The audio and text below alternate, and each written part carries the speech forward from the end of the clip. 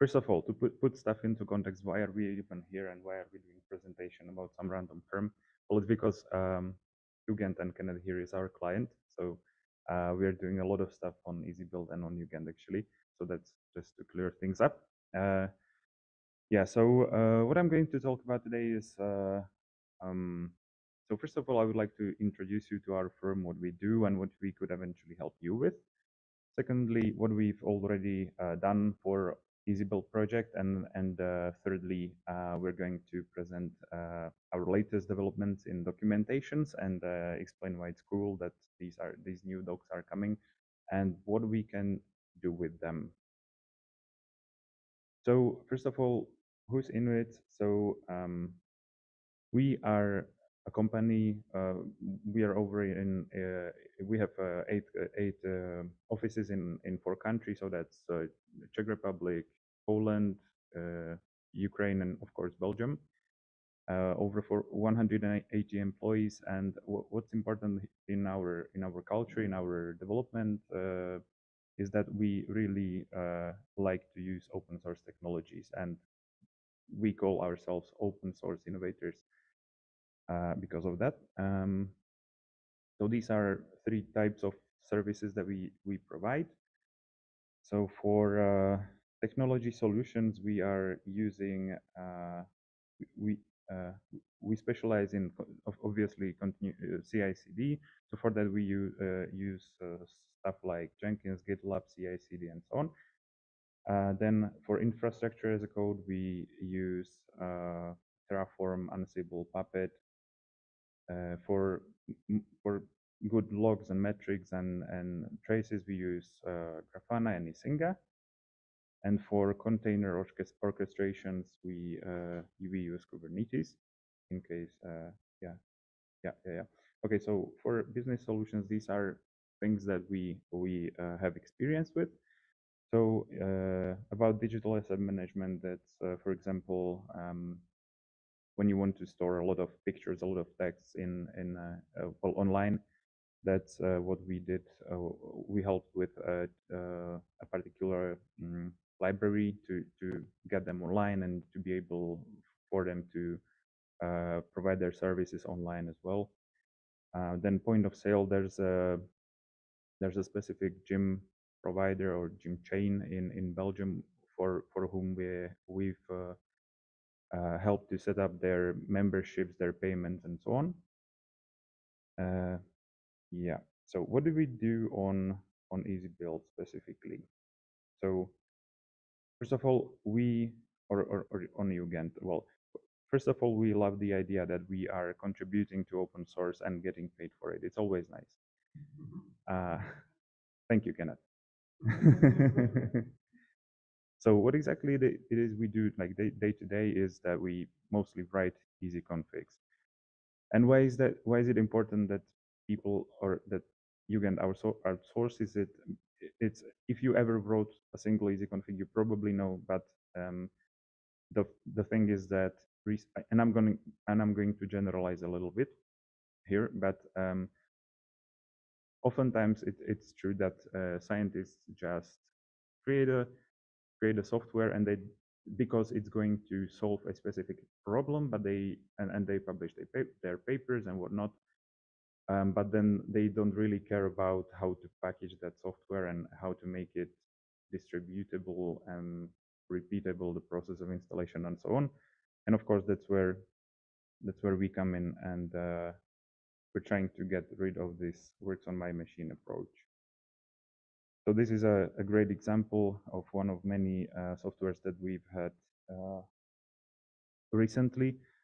Uh, I don't know if you can see it very well, but uh, this this software called Finder, this is a patch for that software that I created, and it was uh, it was written in, in a way that it was only able to run in Docker or in or, inside a Singularity containers, which is a big no-no if if we're talking about uh, how things work on on UGent at least. And so I even had to, if you see, I, I even had to add uh, the option that you can run this uh, software. Uh, it's called bare option. So you just run the stuff. You don't need any setting up of container and so on. And so even here you can see that the the developer of this of the software didn't expect that somebody would be willing or able to take care of dependencies themselves, which obviously we want to do. And of course, there's another um, issue of bundled dependencies, bundled binaries, which is something we we aim to get rid of. So these are some some nice uh, numbers. Uh, so we've already up up to date uh, we've contributed to 400, 461 easy configs, 8 easy blocks, and we even laid foundations for uh, the easy stack development uh, in in the in the framework repository. Um, yeah, so typically what happens is that uh, Kenneth uh, gets uh, an installation request for for for their HPC clusters they they that they that a researcher wants to have some software supported, and then obviously we have to first install it and and um, go through it and and create easy config out of it, and then it's supported. So that's that's what we help with. Um, let's go to the documentations part. So we've realized, uh, and we've talked about this, uh, that there, there is a certain problem quite recently. And that is that EasyBuild and UGent is getting quite a lot of love from uh, its users. And what it what this means is that um, we're getting, or Kenneth is getting, and we are getting as well, a lot of requests for supported software, which is great. But at the same time, it can make uh, if, if one, if for example, one software is quite difficult, then it can mean that there is a, a backlog of other software pieces which we don't have, which we don't really have time to uh, work on and and and care about for for a couple of months even. And that's not what we want. We don't. Nobody wants you know their customers to wait months until something is ready to be used. And uh, so we, we've created a, a, solution, which is we're going to make a really good docs, which will be aimed mostly, but not only for the more simple um, kinds of installations of easy uh, of creating easy configs. So these docs will guide people through creating easy configs. Uh, it's going to be for uh, it's going to be um, focused on different easy blocks such as you know Python packages, CMake, make, so on. Uh, and it's going to be really step by step. And we're going to have an example at the end, but uh, so it's going to walk you through what you need to do before you uh, create the easy, easy config, including where to look for dependencies, what what to include in your easy config, like sanity pip step, uh, sanity pip check, and so on. And uh, yeah, so we we are hoping, and obviously th th this might not be. The one other benefit is that, and this this might not be um, applicable for for administrators, HPC administrators, but if there's a user who wants to support some sort of software, there's a chance that they already know something about the software and they already know how, maybe even how to install it or, how to install it with the works on my machine approach, uh, at least.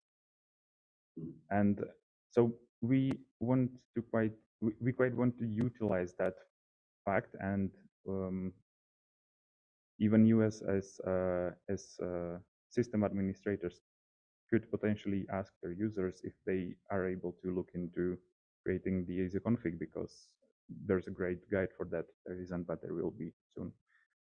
And uh, yeah, so all that combined, uh, we think that we can streamline the process and speed it up a bit. And so we win because we will have more time to uh, think about potential improvements on the framework or, or adding easy blocks and so on. You win, you win, or the scientist researcher wins because they will have their, in ideal case, of course, they will have their their easy config ready way quicker than if they had to wait for us. And then, of course, community wins because everybody can then reuse what you've done for the well on their sites and so on so yeah that's that's the thing that we would like to propose here. And yeah, let's now look at the example of uh, how to use easy configs, or how to use our documentation to let you walk to let it walk you through the process of creating an easy config, a simple easy config.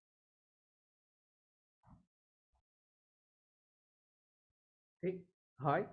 Uh, so uh, in this part, oh yeah, I'm, I'm short, sorry. Uh, in this part, uh, this will be uh, kind of a tutorial for uh, the end users who uh, who are mostly asking uh, the admins for creating easy configs. So you might even point them to the recording of this of this talk, and they can go through it. Hopefully, they can learn something new. Uh, for this one, it's not updating for some reason. Hmm? There seems to be an error.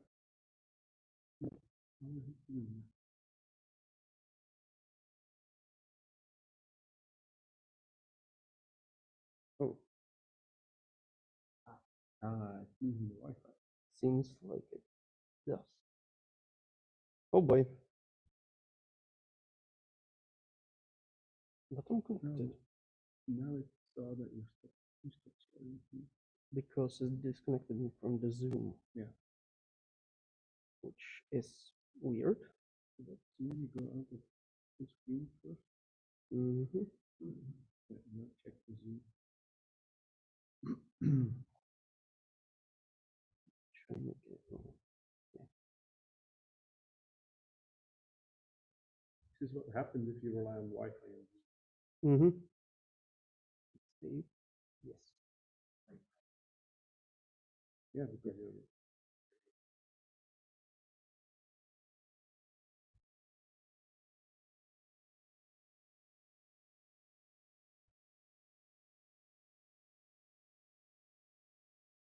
worked on my machine before. Yeah, of course it did. Yeah.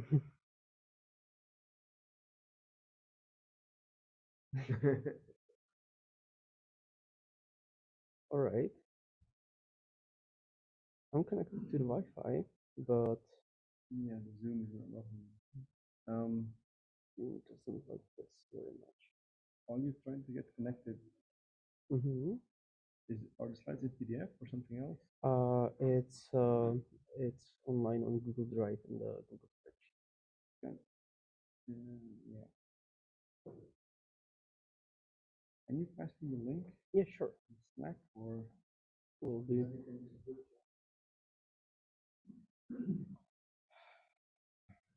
Yeah, yeah, yeah. Tough luck.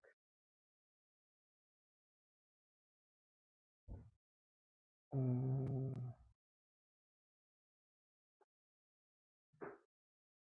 light should be there.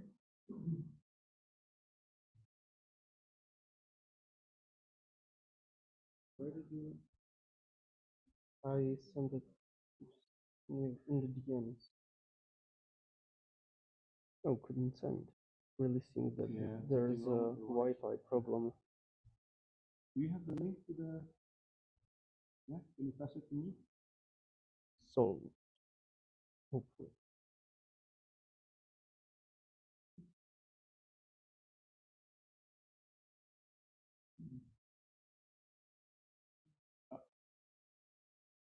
Now I think your Wi-Fi is back. Can you jump back into the Zoom? You can give it one more try. Mm-hmm. There's a possibility. No, course not. You go to the speakers channel. Have the link. Mm-hmm. Scroll up. Yeah, no, you lost the connection. Let's switch back. Mm-hmm.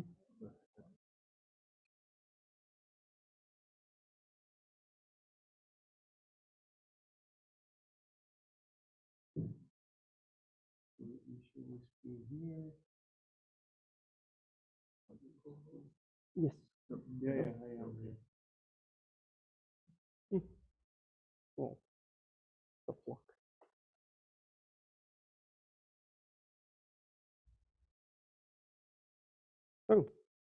hello. Oh, that's you. All right. Mm-hmm. Right. So, uh, back to where we uh, back to where back to where we've been. Uh, so yeah, this is uh, just a quick tutorial. We'll be looking at uh, uh, this package called MultiQC, uh, which uh, uh, we have the homepage. We know the name. So what we can we know the GitHub. So first thing we can do go to the GitHub and look for the dependencies that uh, it needs. Uh, we often look for them in uh, in setup.py or py project.toml or some other uh, like version of these uh, these config files. And uh, here we can find it in uh, in setup in setup.py.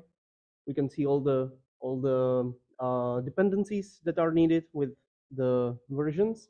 Those versions sometimes depends on the on the package uh, can be too strict. So there's uh, that's nothing a simple uh, set couldn't couldn't fix. Just uh, if there would be like two equal signs, just uh, switch one to the uh, is greater sign, and it should be good.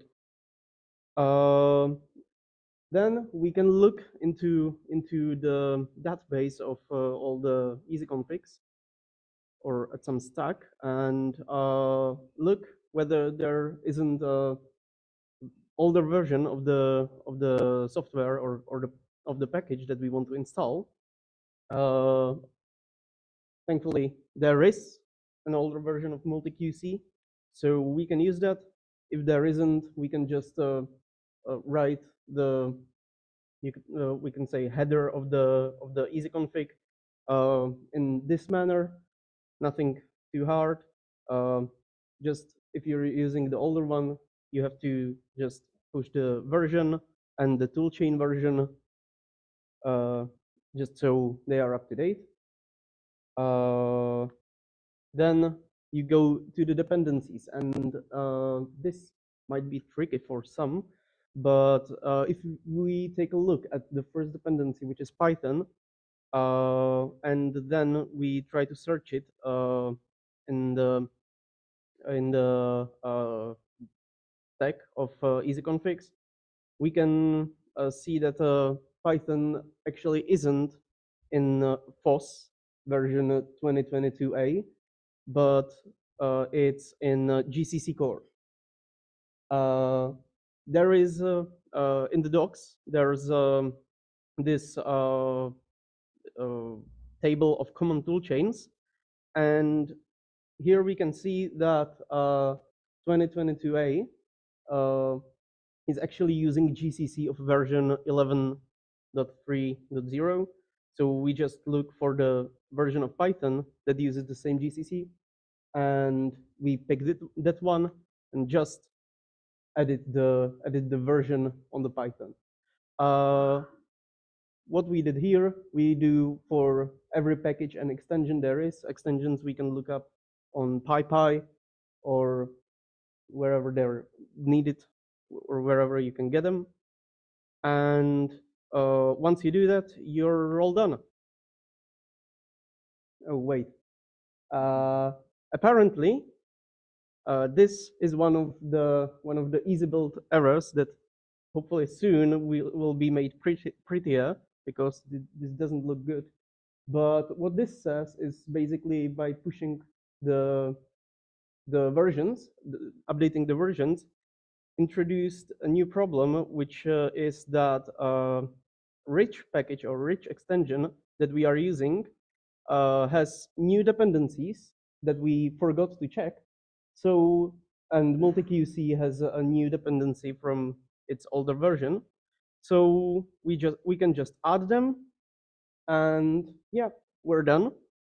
Uh, the important thing is uh, to remove checksums if you want to test build it, because then EasyBuild won't, will complain about checksums not being correct. But after that, uh, oh yeah, uh, you can also you should also uh, add some sanity check paths, which are the paths where EasyBuild uh, looks uh, for existence of files or directories. And you can add sanity check commands. Usually that's uh, just the software printing the help or version, or if there is a if there is uh, some light example, just some test quick test run, you can run that. And uh, yeah, after that, uh, you can uh, use EasyBuild with the, argument inject checksums, which goes through the EasyConfig and updates the checksums for you. So you don't have to you don't have to go one by one and check everything. EasyBuild does that for you. And then the most important part, uh, you can use the new PR of EasyBuild, which uh, simplifies everything about uh, pushing the EasyConfig to the to the uh, GitHub. Uh, this approach should be used even if you have a solution that works on your machine and you don't want to mess with it more, because uh, what that does is at least helps us to understand where the problem is. Maybe add some errors that uh, that you can have to the pull request, so someone can look through it, and the work is then much more easier than starting from scratch, uh, because you don't have to withhold all the progress you did just for yourself, since this is open source. Uh, but yeah, uh, this was us, Inuits. Uh, if you would uh, have any questions, you can reach me, you can reach Denis, you can use uh, the email that's in here. Uh, where we have a lot of things that we can offer. so uh, yeah, uh, I think that this is the end of the talk. If there are any questions, Thank you, Filip. And then- Any questions? First, I have, I have one. It's, I think quite a lot. Things that. And but you were saying, like the process that you're in the archive, all of that stuff like AI. I mean, I, I mean, I'm looking at that. Keep it like this. Nice in some way. Then archive the last version. uh, This is more. Yeah. So the, so, So, so there's two things. So the, the archiving we do is very different from totally removing them. They're still in view to some extent. Like if you use eb dash dash search and it finds an archived easy config, it's going to tell you. And it has an option to also show the archived stuff. didn't copy that. So it's like hiding it out of plain sight, but it's still there. You can still grab it. You can do copy EC as well to easily copy that easy config and have something to start from. That's one thing. And what you can also always do is just go straight on GitHub in the easy configs repository, drop in the software name in the search box, and you'll you'll find those old pull requests. So those are not hidden at all, right? Those are still in plain view. Yeah. Um, yeah. There's so also a switch for the for the command to also search the, through the, for the archive stuff. Yeah. So the, if there's absolutely nothing more recent, then the archive stuff is better than nothing at all. It's going to be a bit more work to clean that up and to uh, stuff that's been deprecated and no longer supported. Fine, but it's going to be still less work than starting from. Yes. Mhm. Yeah, but that's yeah, that's a good argument. I think we're doing pretty okay there as well. Like the archiving is done deliberately. The easy thing is just remove them, right, and make it harder to find. Even then, you could still find them just through GitHub. But the archiving is a deliberate approach, like a, a, a middle step. a. Yeah, that's a good point. One other thing which wasn't discussed here, and that's up until now been a wild idea, but there is an open framework pull request um, to add a new feature to EasyBuild to very easily create an easy config file. It's like in, like you have new PR and new EC, and you just throw stuff at it. You give it like the homepage, the link to the source tarball, and it figures things out a lot by itself, and it spits out this like a, a template easy config to start from. But that, but it has everything in the right order, and it's actually quite easy to figure out if you just throw stuff at it, like version. Um, with a little bit of logic, it can pretty easily figure out what is what and just give you something decent to start. But we should finish that up, and, and especially for new stuff where there are no easy configs yet, that this can save you quite a bit of time. Yeah.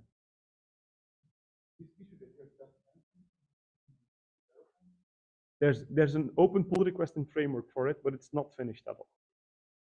Um, that, that's something we should probably pick up again, maybe restart that effort. It, it got a bit lots of logic, right? Because there's lots of if else, and it, it's not like an AI, which you throw a tarball at and it, it gives you back an easy config. It's nothing close to that, but it could still be very, very useful.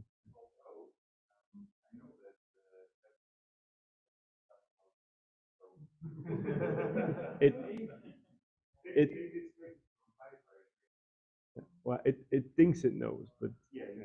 There's a mention that uh, uh, ChatGPT knows about easy config. Yeah. And easy build. It, it, it reminds me a bit when you're. Ah, yeah. So, so Todd is advertising Spack in the Zoom chat.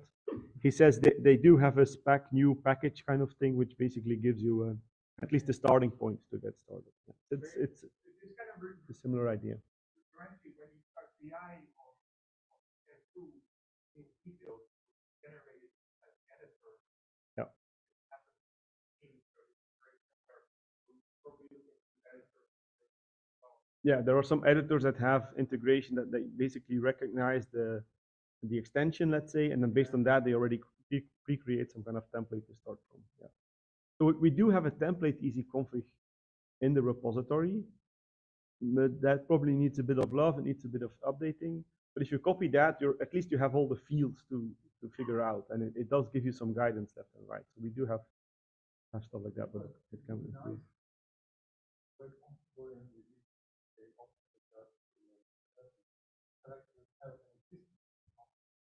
Yes.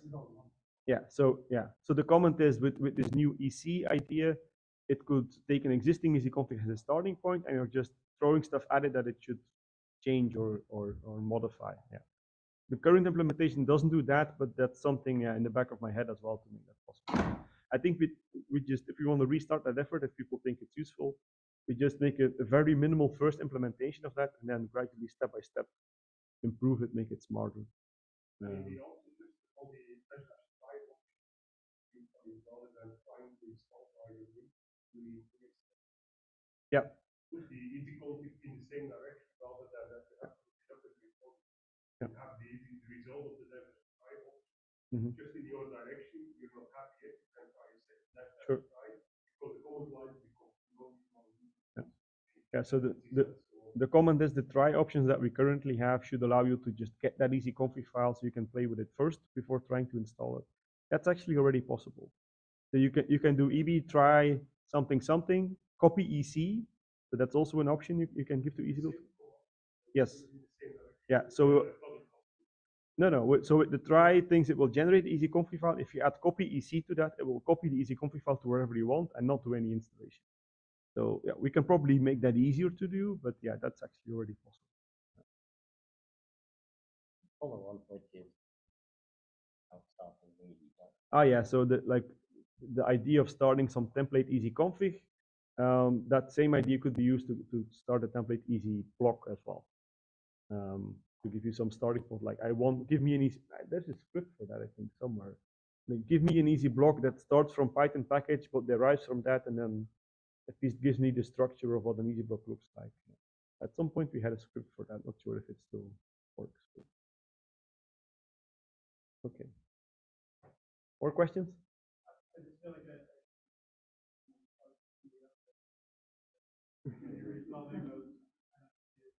Yeah. I don't document this feature, but you take all, three of them. I'll just go out and find the newest one, populate that, and then I'll resolve all of. Yeah, yeah, yeah. So John is making the comment that that EC update is a very useful tool for uh, figuring out what the latest version is of extensions and things like this. You, you, you'll mention this tomorrow in your talk, right? Tomorrow or today? Tomorrow. Yeah. Yeah. Okay. Um, one more thing about Inuits, they are sponsoring the social event tomorrow. We're still figuring out the, the practical things there, but at least they, they put themselves up to sponsor the social event. So the boat trip we'll do in the Thames tomorrow, and the dinner at Richard the First in the pub is going to be sponsored by Inuits. So thanks a lot for that as well. And one last thing that I forgot, uh, this example that I was going through is uh, actually uh, step by step uh, taken from the documentation that we're working on.